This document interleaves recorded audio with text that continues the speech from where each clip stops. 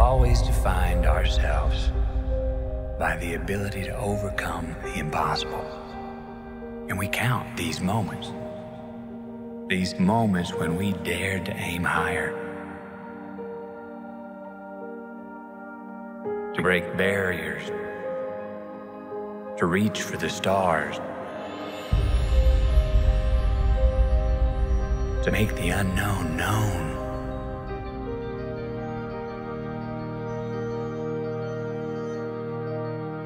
We count these moments as our proudest achievements. But we lost all that.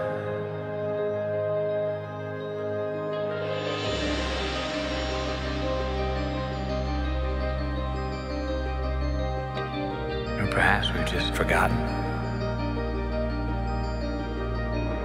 that we are still pioneers.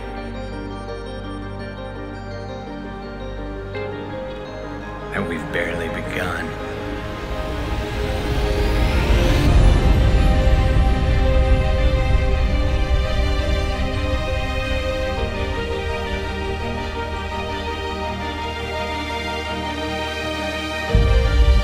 and that our greatest accomplishments cannot be behind us.